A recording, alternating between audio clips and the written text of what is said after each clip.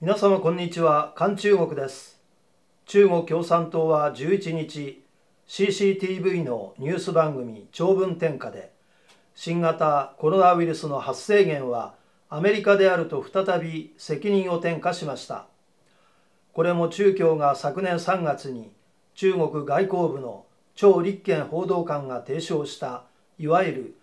アメリカ軍の毒物投与説の陰謀論を表明して以来の2度目の責任転嫁とみられます。同番組はアメリカ軍が2019年10月中国湖北省武漢市で開催されたミリタリーワールドゲームズに参加した際に新型コロナウイルスを中国に持ち込んだと主張しています。番組では同ゲームに参加した5人のアメリカ兵が新型コロナウイルスに感染したためにアメリカの特別便で本国に運ばれたと示唆していました。これに対しアメリカ国防総省は12日中共の主張にはいかなる証拠もないとの声明を発表しました。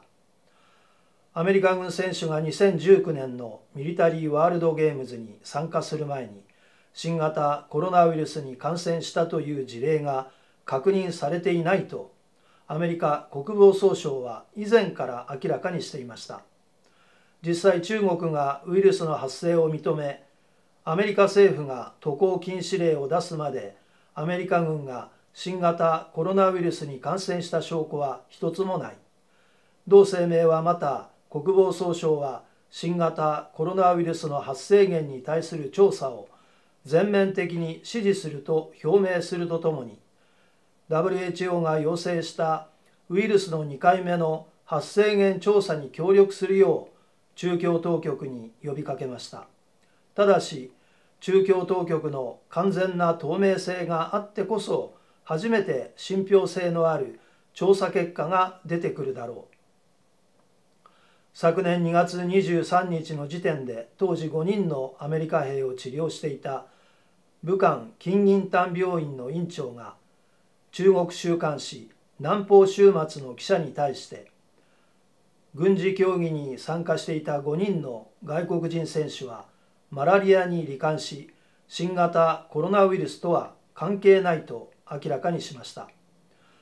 政治的陰謀論を研究するアメリカフロリダ大学のマーク・フェンスター教授はラジオフリーアジアに対し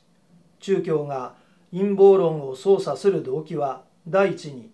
自国民の支持を獲得し自分たちの悪事から注意をそらすこと。第二に人々の怒りをそらして不安にさせるより邪悪な動機であり特に事実に対する人々の既存の偏見を利用しナショナリズムを操り邪悪なアメリカという考え方を定着させることであると述べました。ご視聴いただきありがとうございました。よろしければ高評価とチャンネル登録をお願いいたします。